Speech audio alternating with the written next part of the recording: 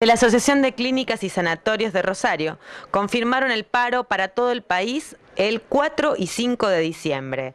La medida de fuerza paraliza toda la atención, pero solo con las prepagas OSDE, Medicus, Swiss Medical, Galeno, Medife y Onin. El, paro consiste en la atención, en suspender la atención programada y atender solo urgencia y emergencia. Me gustaría aclararlo bien, solamente de las empresas de medicina prepaga nacionales. Léase OSDE, Swiss Galeno, Medicus, Omin y Medife. Exclusivamente a esas seis empresas, en función de no recomponer el último tramo del año que teníamos acordado este, para que nosotros podamos hacer frente a nuestra pauta salarial y a los insumos y cosas que han venido aumentando.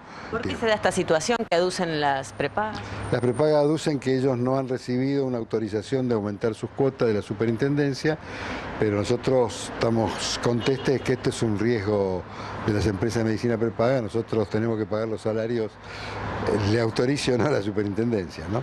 Las empresas son superavitarias, lo demuestran sus resultados año a año, ¿ustedes entienden que esto es así o hay otros eh, argumentos por lo menos que dan?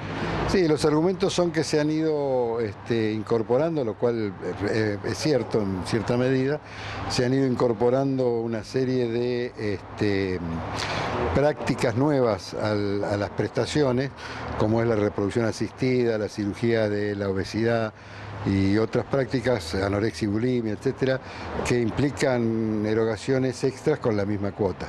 Pero nosotros creemos que desde el punto de vista de, de, los prestadores, esto es un riesgo empresario que han asumido las empresas de medicina prepaga y nosotros tenemos nuestros propios riesgos y debemos cumplimentarlos, sobre todo en nuestro caso somos eh, empresa de mano de obra intensiva.